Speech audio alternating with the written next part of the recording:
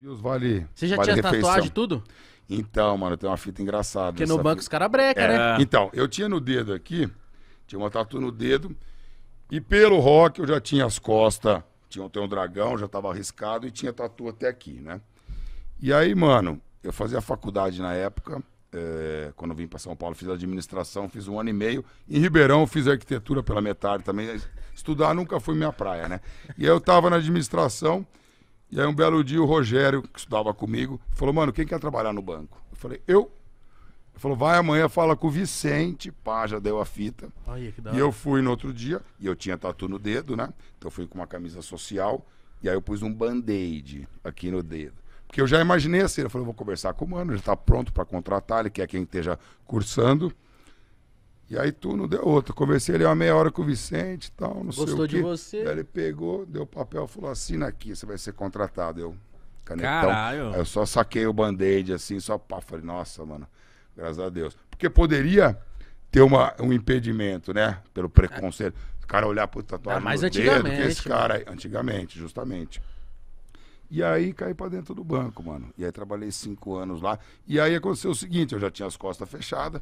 Existia muito preconceito nessa época. Hoje tem bem menos, né? Uhum. E aí, mano, os caras faziam churrasco no banco lá. E aí, na sequência, eu entrei. Depois de um mês, teve um churrasco no banco, lá numa chácara. E o pessoal do Secomp lá, tal. Foi, puta, o Vicente, os caras, os caras, vamos lá, mano, vamos lá. Daí, o primeiro churrasco eu não fui. Que eu já ganhei, eu falei, mano, eu vou lá, vou nadar, tatuagem, pode dar uma ver. azedada. Olha que Imagina zoado. que você saca a camiseta dos caras. Caralho! Olha que zoado. E aí, mano, depois de dois meses, teve esse daí, depois de uns dois, três meses, teve o churrasco de novo, né? Os caras têm que ir, têm que ir, pô, não, não tá com nós, não sei o quê, tal. Eu falei, fudeu, né? Vou ter que Vamos ir. no churrasco. Mas eu fui já na minha mente e falei, mano, eu não vou entrar na piscina, eu vou ter que ficar de boa.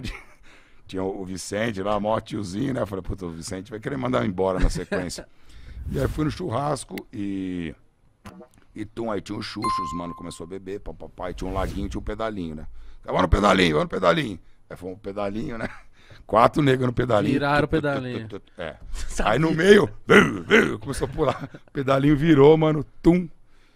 E aí saí tudo molhado, camiseta, aí tirei, todo mundo ficou em choque, a tatu, né, naquela época.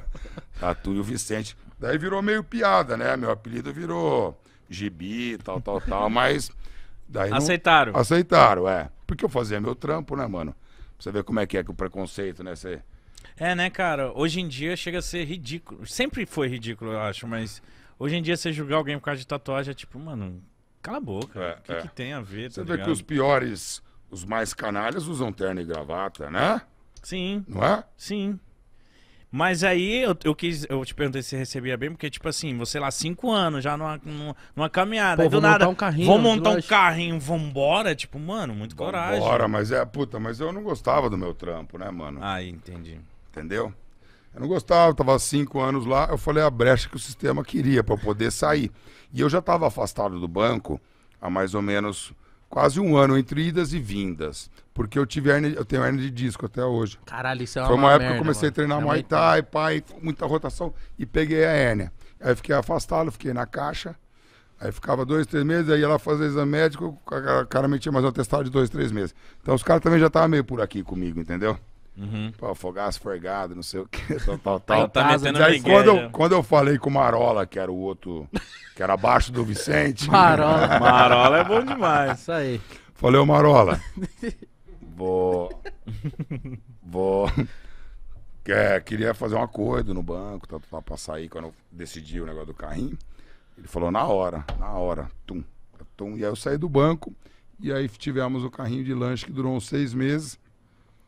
Mas foi o grande impulso para eu poder sair do banco e seguir a minha carreira solo fazendo lanche.